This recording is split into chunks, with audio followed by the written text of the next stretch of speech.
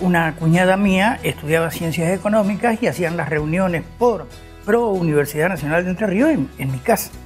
En consecuencia estábamos siempre al tanto. Seguíamos los pasos de, de cómo iba el tema de la creación de la Universidad de Entre Ríos. Cuando el doctor Marsilia habla de que ya era él el organizador de la universidad y que ya tenía un lugar para trabajar en el colegio, todas esas cosas, se formó un grupo, se trabajaba con este, lo que tenía el colegio ahí enfrente eh, y con algún mobiliario de, ese mismo colegio. Así trabajamos hasta que salió en octubre 500 mil pesos de presupuesto. Y ahí se le invitó a la gente, ¿no es cierto?, a ingresar dentro de la planta de la universidad.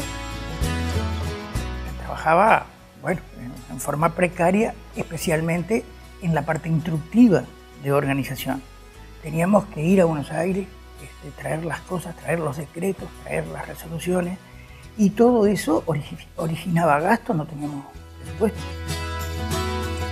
O sea que para mí este, la universidad es parte de mi vida, por supuesto donde uno puso casi todos sus esfuerzos institucionales. Y para mí es, prácticamente es mi vida, aparte de mi familia, ¿no es cierto?, es la universidad.